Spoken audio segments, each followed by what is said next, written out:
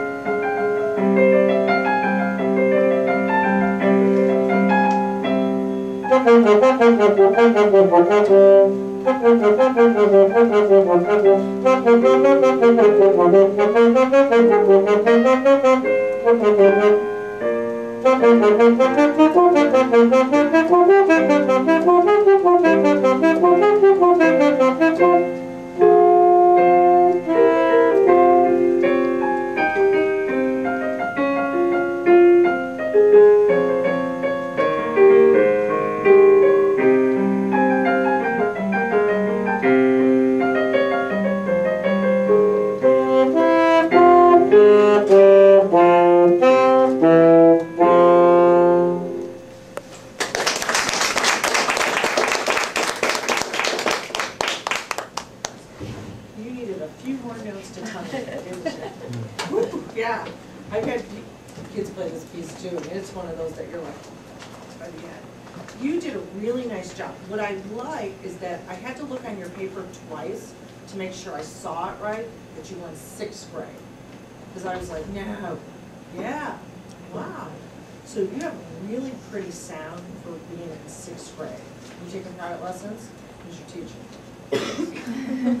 Nice job, she's got a really nice rich sound, I really like that. So you need to make sure that you thank your teacher. Okay, what you did to recover on those is exactly what I would have told my students do, is that, you know, there are times when sets of sixteens are just gonna start to tumble. And what I like that you did is that you recovered and you kept getting back in there. And that's what we're wanting, all of us in here want that for you. You know, nobody's like going, oh man, oh, you know, and I'm as a judge, I'm like, go, go, go, yay. So brownie points for me when you can actually start the tumble and recover from the tumble. So nice job on that. Cool. Thank you, sweetie.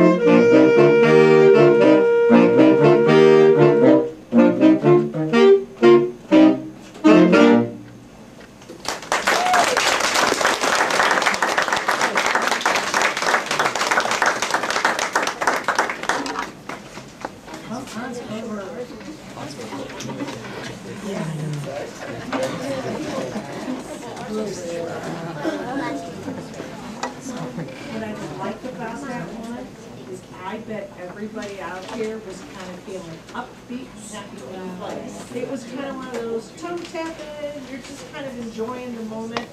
That's when you know you make good music. Is when people can kind of forget whatever it is that they're doing for a minute and kind of think, that's kind of cool, isn't that kind of nice?